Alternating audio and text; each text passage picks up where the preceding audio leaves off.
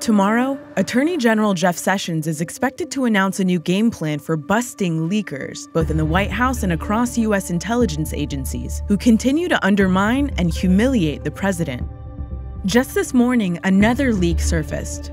Embarrassing transcripts of phone calls Trump made to the leaders of Mexico and Australia back in his first week in office. These people should be fired. They should be out of government. They're disloyal to our government.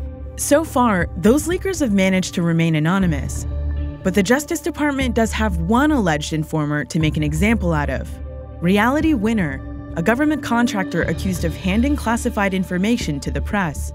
She's currently being prosecuted under the Espionage Act, a once rare practice that increased dramatically under President Obama and could become even more common under the Trump administration. The first American ever charged under the Espionage Act for releasing information to the press was Daniel Ellsberg, a military analyst who in 1971 leaked the top secret indictment of the war in Vietnam known as the Pentagon Papers. Ellsberg narrowly escaped conviction and became an anti war activist. David Noriega visited Ellsberg at his home in California. Daniel Ellsberg's home office is crowded with books, notes, and pictures from the time he spent in Vietnam as a member of the Foreign Service. This is when you were in Vietnam for a couple of years. Uh, yeah, for two years. I was a civilian. In the late 60s, working as an analyst for the Rand Corporation, Ellsberg helped write the Pentagon Papers before he turned against the war and leaked them. He was not only charged with a felony for the leak, the Nixon White House also sent a team of burglars, including some who would later participate in the Watergate break in, to steal files from his psychiatrist. Parts of the 27,000 page file that the FBI kept on Ellsberg are lying around his office. It begins with a memo about the break in. Really? What? Mm-hmm. Yeah, Oh, that's the that's that's the interesting. this is the first memo. I, in I the stack frankly you have gave me. never have never read any of these. It's just too much.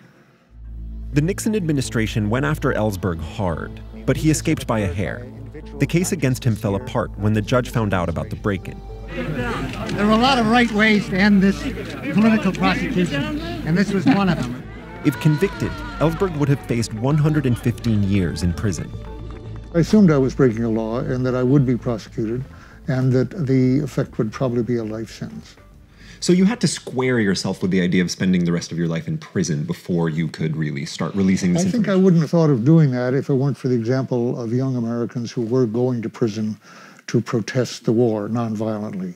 And uh, it didn't take a lot of uh, thought or uh, anguish.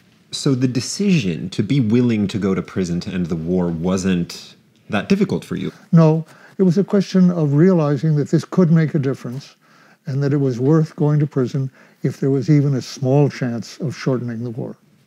So there's this moment of realization or radicalization, perhaps, where you realize that you're willing to make this sacrifice. Yeah. Do you think it's possible for the government to effectively and decisively suppress that? They suppress it in nearly everyone. Uh, it seemed to me so self evident that this was worthwhile when, at the moment, when I came to it, that I hoped that my example would uh, make many other people realize, oh, I can do that, and that's the right thing to do. It didn't happen until Chelsea Manning. And then three years later, we had Snowden. It's basically not easy to find uh, others. Those are the three who've done that on a large scale in 40 years. Ellsberg sees Snowden and Manning as fellow travelers. He's ardently defended them in the face of controversy. And he draws a distinction between them and people who leak for political advantage and with the tacit approval of their bosses. So the people who are leaking, I think, are doing so in, in part for institutional reasons to protect their institution. It's not so much the public at large. We're really seeing leaks that are dangerous to the president, embarrassing to the president, by agencies that feel themselves endangered by the president. And uh, that's the standard kind of leak. You were the first person to be prosecuted under the Espionage Act for releasing information to the American public. Since then, the use of that statute in that context has skyrocketed, you could say. nine or ten prosecutions under Obama. Uh, doesn't seem like so many, but it's three times more than there were before Obama. Now, I expect there to be quite a few under Trump. I think that Obama set a very bad precedent there of using the act.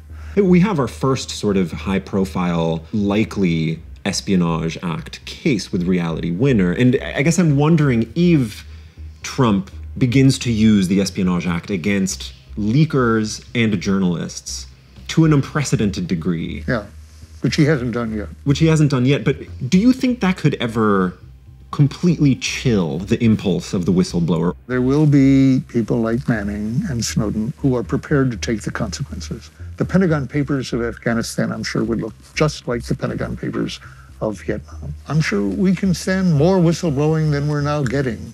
Uh, we need it. Uh, you can't have a free society, you can't have a democratic society without unauthorized disclosures.